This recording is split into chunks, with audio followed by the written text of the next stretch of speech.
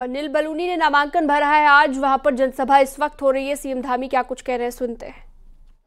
कहाँ से कहाँ भगा दिया, पूरब उत्तर से लेकर वहाँ दक्षिण की ओर भेज दिया।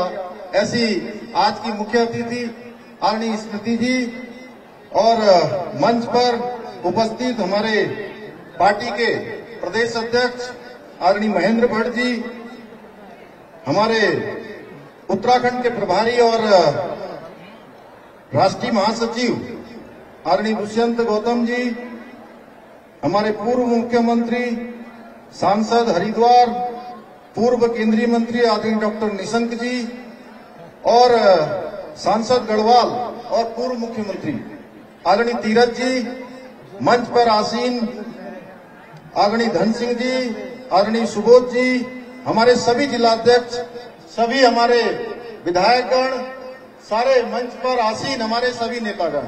और इस बहुत ही ऐतिहासिक समारोह में आज पूरे गढ़वाल लोकसभा से एक कोने से दूसरे कोने तक आए हुए सभी मेरे बड़े बुज़ुर्ग, सभी उपस्थित माताएँ, बहनें, सभी मेरे नौजवान साथियों, मैं सबसे पहले तो आप सबका इतनी अपार संख्या में आने के लिए, भाई अनिल बलोनी जी को अपना आशीर्वाद और समर्थन देने के लिए, मैं देख रहा हूँ जितनी इस मैदान के अंदर जितने लोग बैठे हैं, इससे कई गुना लोग आज इस मैदान के बाहर हैं, आसपास के क्षेत्रों में है।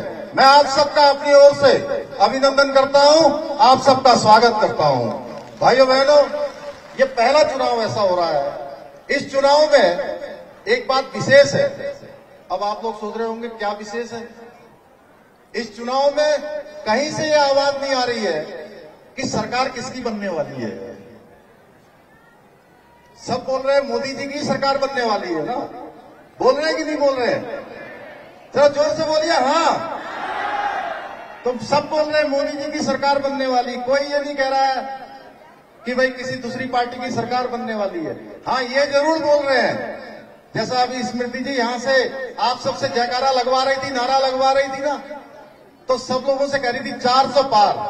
हाँ ये ज़रूर है कि 400 आएँगे कि 410 आएँगे कि 420 आएँगे? पूरे देश में इस बात की चर्चा हो रही है। ये पहला चुनाव हो रहा है देश की आज़ादी के बाद। भाइयों बहनों, देवभूमि उत्तराखंड के लोगों ने हमेशा जब भी हमारे प्रधानमंत्री मोदी जी के नेतृत्व में चुनाव हुआ, जो भी चुनाव हुआ है, उस चुनाव में प्रचंड बहुमत दिया है। हर बार अपना आशीर्वाद दिया। देखिए 2014 में उनको प्रधानमंत्री पद का उम्मीदवार बनाया गया था। पाँचों लोकसभा सीटें यहाँ से जीते थे। 2017 का विधानसभा का चुनाव हुआ। आप सब लोगों ने 2017 में भारतीय जनता पार्टी की सरकार बनाई थी। 2019 में लोकसभा का चुनाव हुआ। आपने 2014 के मुकाबले 2019 में और ज़्यादा मतों से पाँचों सांसद यहाँ से जिताकर भेजे थे। और 2022 में अभी अभी।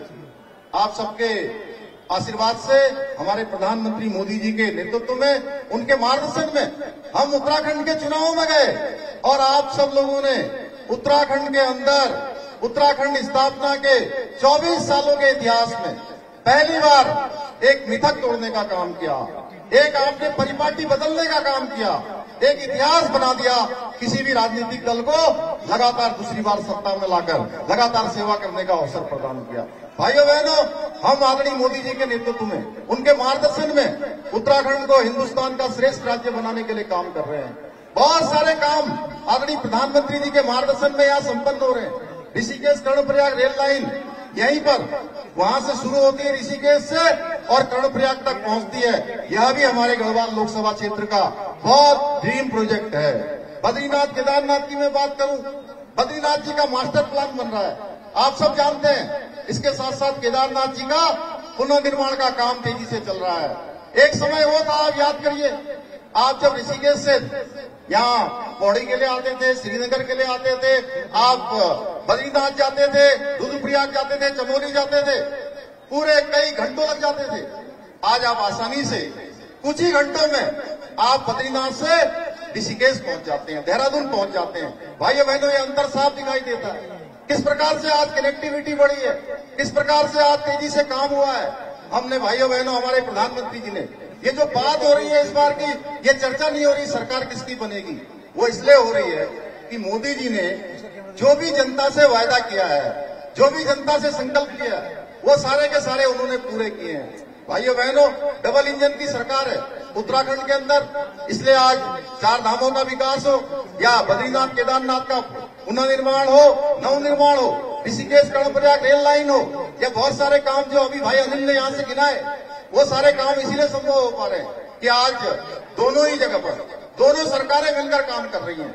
आप सबको पता है, उत्तराखंड, आप देश के अंदर जहाँ बहुत सारी बातें 370 भगवान राम का भव्य मंदिर बनना, सीए का कानून लागू होना, या देश के अंदर अन्य जो गरीब कल्याण की योजनाएँ वो सब मोदी जी के नेतृत्व में संपन्न हो रही है। तेज़ी से आगे बढ़ रही है। उत्तराखंड के अंदर भी हमने देश का पहला राज्य हम सबको गौरव प्राप्त हो गया। उत्तराखंड के एक एक व्यक्ति को एक गौरव प्राप्त हो गया कि उत्तराखंड यूसीसी लागू करने वाला पहला राज्य बन गया भाइयों बहनों। मैं बधाई देना चाहता हूँ आप सबको। देवभूमि के एक एक व्यक्ति को कि हमने चुनाव से पहले जो आपसे संकल्प लिया था, आपसे वायदा किया था